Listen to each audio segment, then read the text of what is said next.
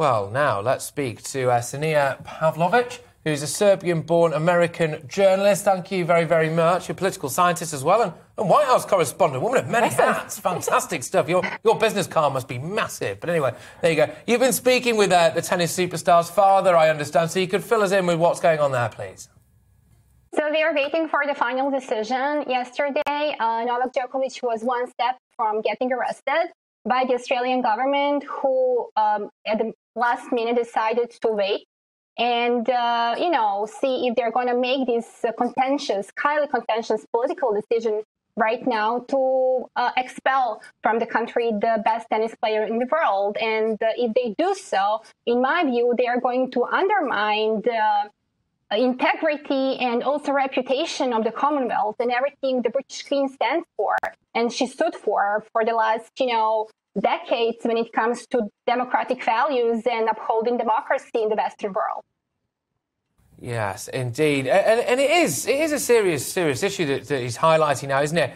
I mean, Novak Djokovic, is he going to be in any kind of decent shape to actually play, do you think? I mean... Well, the stress. The stress, know. the stress and being holed up in a, well, essentially a detention centre for a while, wasn't he? He is mentally extremely strong individual, and I believe that this is going to motivate him even further. That if he is allowed to stay, uh, to win the championship and show the whole world who he is as a human being, as a person. You know, remember what's relevant to this country. He won Wimbledon multiple times. He was awarded for his achievement in philanthropy by Prince William, a Centrepoint Award. So he is someone who not only is the best tennis player in the world and an athlete, but he's also extremely you know, good human being who is doing a lot for charity, not only in Serbia or UK, but worldwide. Indeed, indeed. Well, you know, it's a very, very tricky situation, uh, of course, and it's, uh, yeah, gosh, it's been a, it's been a, a bit of massive, massive uh, ordeal, hasn't it? What, what, what, what's the latest with the, the kind of arrest claims that have been taking place over there now? Well, they were true. They were coming to arrest him. Um, the Serbian supporters in Australia surrounded the police, and uh, I believe that the assessment at that time, security assessment, was that this can turn out in a very, you know, contentious political, you know, event. And uh, if they do this, Australian government is going to really show to the whole world that they are the bad guys.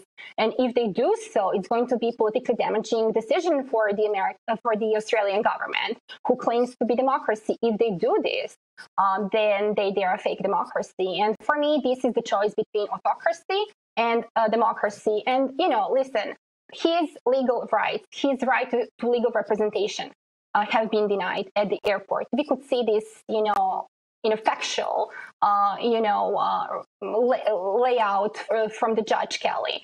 So, are you claiming that you're democracy while denying the best tennis player in the world or any citizen, uh, for that matter, uh, right to legal representation? He has been advised against legal representation and was told that it is not in his best interest to have the lawyers because the lawyers cannot do anything about it, which was clearly not true. And I think was the crucial point that decided for Judge Kelly because this is not Guantanamo Bay. This is a ten- tennis world champion uh, tournament, uh, uh, tournament, and uh, you know what they're doing is uh, absolutely outrageous and shameful for the Western liberal order. To be quite frank about it.